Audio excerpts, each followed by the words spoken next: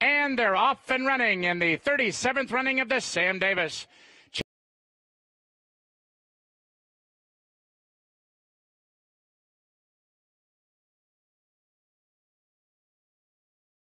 It's Saturday, February 11th. I'm out here at Gulfstream where there are three graded stakes on the card today, including the second of three grade ones for the meet.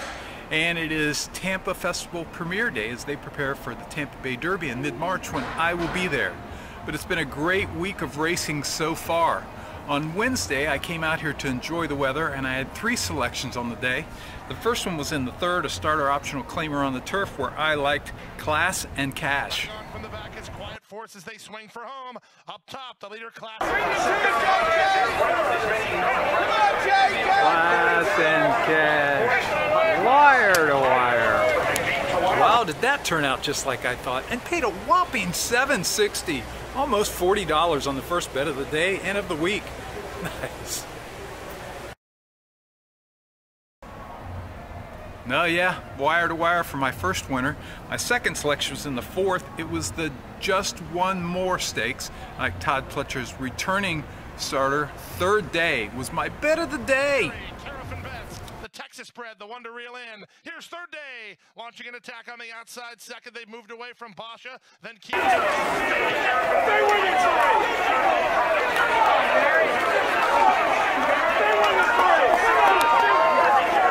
Third day. Oh yeah, cashed for $60 and I closed out the day with my third winner in the seventh, a claiming event on the turf where I like the 2 to 5 favorite Stay Safe Kitten.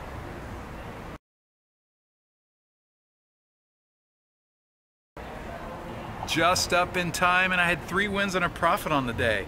The next day, Thursday, my first selection was in the opener, a maiden claiming event going eight furlongs, and I liked Into the Future. He looked so good, I upped the bet, confidently handled to the stretch. Into the future, trying to seal the deal. Howland Matt Smith is running out of time in real estate. It will be Into the Future to win it as the first race favorite. Into the Future by um, almost two in the end.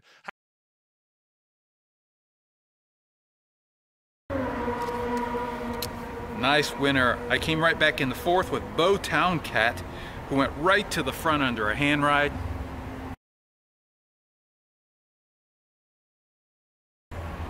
And I closed out Thursday in the ninth race, a non-winners of the two lifetime, seven and a half furlongs on the turf. I've had many issues with Julien Leparoux riding on my horses, but today he gave Leonardo da Vinci a great ride, edged out into the stretch, Jacala set after him second. Leonardo da Vinci between horses third. Then stay in cruise. In deep stretch, Leonardo da Vinci or Jacala will settle it. It's Leonardo da Vinci with the lead. Jacala is second. Leonardo da Vinci with a good trip to win. Jacala second.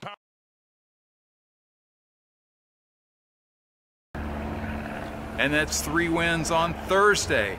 I closed out the weekday racing in the opener on Friday. I like Dancing in the Heat under Javier Castellano was the favorite right to the front. Inside the final furlong and Dancing in the Heat is strong up front. Ravello's boy tried him but was only second best to Dancing in the Heat who wins by length. Ravello Came back in the second, should have bet the daily double. Number two, Dubai Bob on the turf.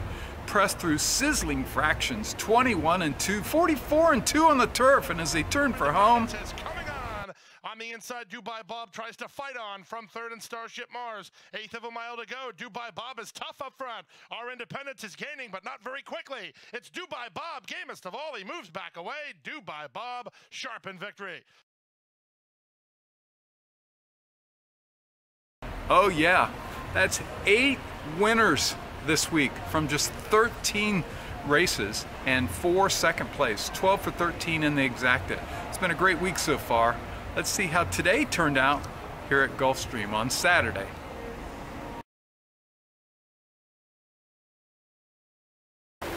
Picked my first winner of the day here Saturday at Aqueduct in the opener there, maiden special weight going a mile 70 yards.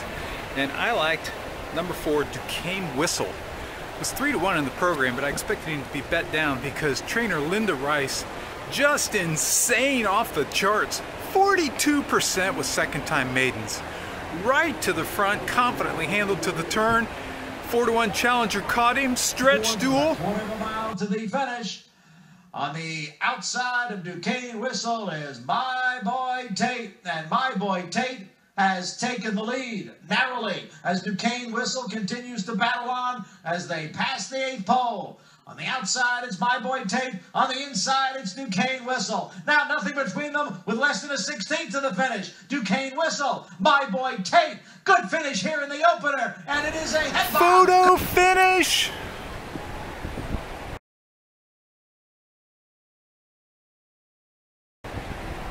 Oh, the head bob, I watched it five times in slow motion. Everybody around me said it was a six.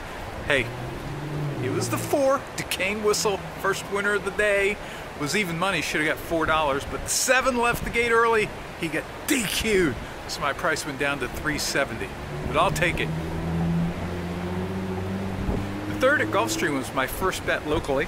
It was a claiming event going a mile, and everybody liked number four, Venom Girl. She'd won three in a row and just got claimed by barn that wins 29% first off the claim. Right to the front, press the pace. On the turn, the jockey said, hey, let's go. Long gone. Left to go. Venom Girl has this to throw away. She's opened a four-length lead. Toward the inside, Dancing Cool is now rallying into second. Unknown is back third, then kicking in.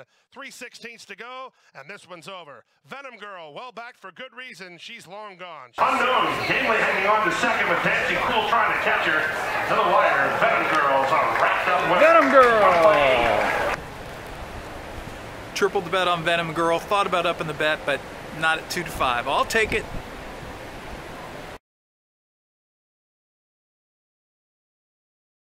The fourth at Gulfstream was an entry-level allowance night number four, Sea Cloud. Sea Cloud had won her debut and then came back in an allowance race going seven furlongs, battled through fast fractions and then weakened. Cut back to six and a half furlongs today. Just pressed the pace into the turn. Racetrack back fourth is Curlin's image as they turn for home. Up top, Sea Cloud set down for the drive by Luis Saez. Canary is second. Janie's Dancer ducks to the inside. Late run from Kyle's Marigold for a share. Final furlong. Sea Cloud is still there. Jimmy's Dancer. Canary is second and third. Sea Sea Cloud, Cloud, Sea my Cloud second winner. Over Canary Double second. bet. Three wins.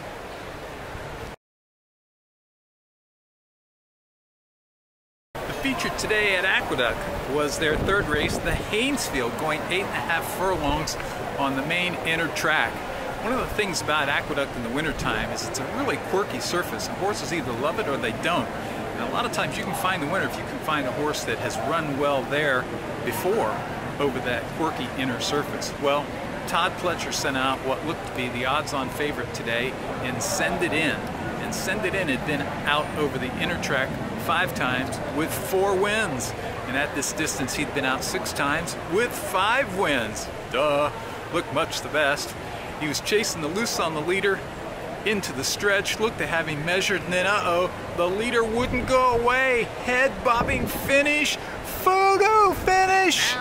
Stretch, and it is Fox Rules trying to hold off, send it in. Fox Rules leads by a length, send it in, driving on the outside. Fox Rules down at the rail, send it in on the outside. Fox Rules and send it in. They come down to the finish. Fox Rules, send it in on the outside. It's going to be a photo finish. Too tight to call. Oh yeah, the photo came up. I'm the winner, 30 to win, the bet of the day. That's four wins in a row and two tight photos in New York. Woo!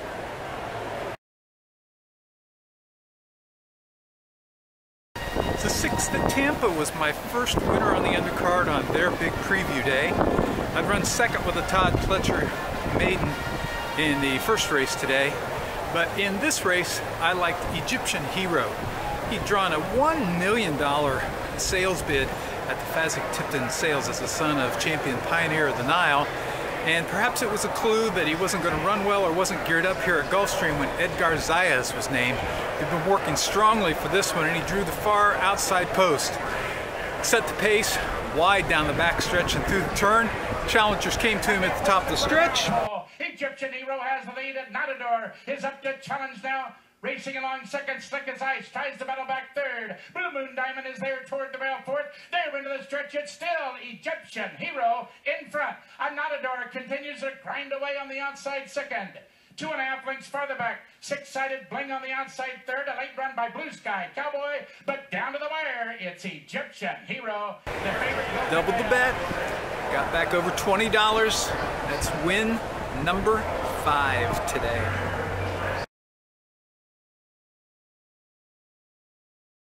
Second at the fairgrounds was an eight furlong turf stakes race. It was their feature. It was for three-year-olds and nearly all of them were stretching out for the first time. I liked what looked to be the favorite number two Stallion Heiress. Had earned a huge Beyer when drawing off uh, an 84 sprinting on the turf. And DRF handicapper Marcus Hersh gave rave reviews, which is unusual. If she could run back to that number, she'd be long gone. Gates open and boom! Right to the front by nearly 10 lengths. As they turn for home, the rider's looking around. Harris coming down to the final furlong, and Mitchell takes a confident peek back, and Stallion Eris is rolling through this fairground stretch. Hot Shot Anna now gains into the exacta. Rum goes third. Super Duper Sky. We draw back to Picaresque. It's Stallion Eris, the exchange rate filly. Stallion Eris steaming away from the. It's another Hot Shot- winner in a feature race.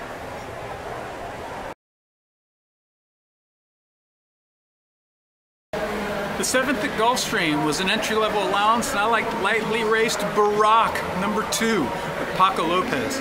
Last time out, the Shadwell Stables turf runner had found himself on the lead through a soft pace. I thought Paco would stalk the lead. Oh, Paco's too clever for them. Right to the front. As they came out of the far turn, they started to make a move, but Paco had something left. Top of the stretch. Barack has the lead, trying to get through inside his flying bullet down the outside in Conquest Sandman. Off cover Nessie into the drive. Juarez comes off the fence with flying bullet. And. Still fighting up front. Flying ball in second. Nessie goes third. Barack through ball. Barack. Barack. 80, doubled the bet. Almost $45 on my third win at Gulfstream. Woo!